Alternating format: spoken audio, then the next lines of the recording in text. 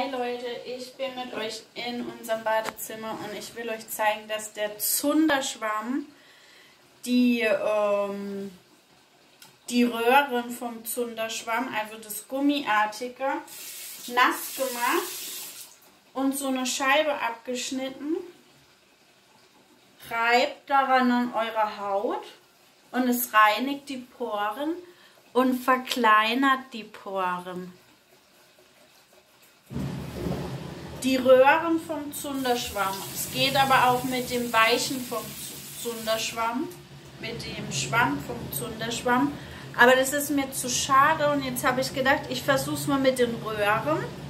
Die Poren und Röhren, dass es ja so gummiartig ist.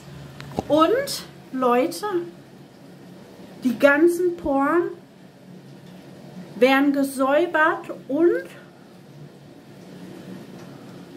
verkleinern sich gleichzeitig durch das Antibakterielle vom Zunderschwamm.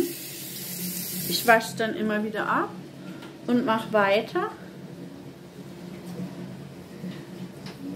Und ich habe das ja letzt und das ist ja so rillig. Das peelt auch gleichzeitig die Haut.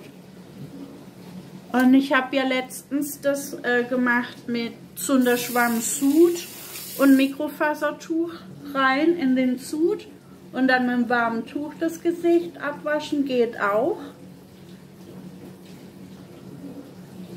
Aber das mit den Poren, mit den Röhren vom Zunderschwamm, schneidet man sich ein schönes Stück ab, dass man auch überall hinkommt. Und der bricht dann irgendwann durch. Dann nimmt man halt das kleinere Stück.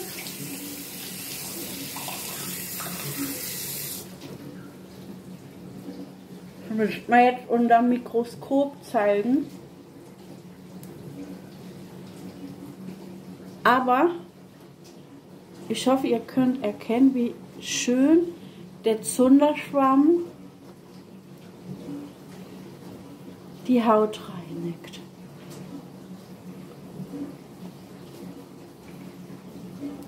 Krasse Idee. Viel Spaß beim Nachmachen.